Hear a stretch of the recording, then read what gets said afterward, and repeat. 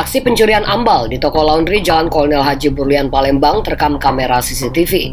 Satu dari dua orang pelaku berhasil ditangkap polisi dan terpaksa ditindak tegas lantaran mencoba melawan ketika akan ditangkap. Rio, Rio, paling paling apa?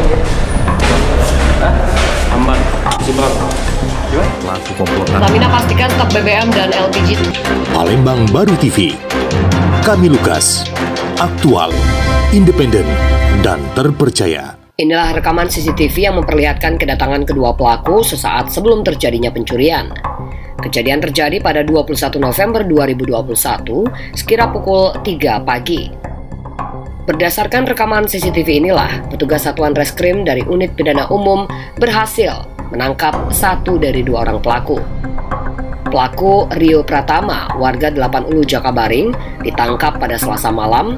Dalam penangkapan, petugas terpaksa memberikan tindakan tegas terukur karena pelaku mencoba melawan ketika diamankan dari tempat persembunyiannya. Siapa nama kau?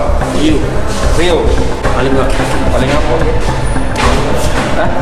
Ambal, si berapa? Gimana? Berapa? Gimana Dalam aksi pencurian di toko laundry Jalan Kolonel Haji Burdian Palembang, pelaku mengambil dua buah ambal yang merupakan milik konsumen toko laundry tersebut. Bidum berhasil mengamankan uh, satu orang ya.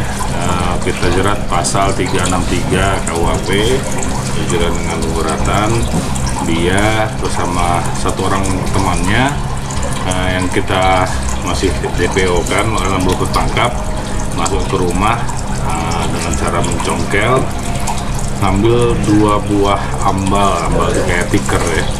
Nah, dan dia langsung dia jual ke daerah Cinde. Eh, hasilnya dia gunakan untuk eh, keperluan dia sehari-hari. Dua ratus ribu hasilnya teman Alhamdulillah nah, kita berhasil amankan dan si tersangka kita proses untuk kawannya juga eh, kita akan kejar karena perbuatannya sempat terekam di CCTV dari rumah korban. Udah berapa kali ngambil? Kalau pengakuannya baru sekali, kalau ngaku baru sekali. Saat ini petugas masih memburu satu lagi rekan pelaku yang belum tertangkap, sementara barang bukti telah dijual pelaku ke kawasan Cinde.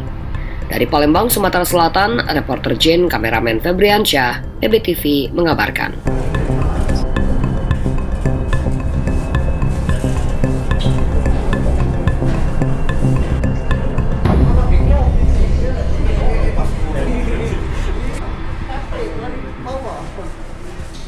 Sudah dibawa tes.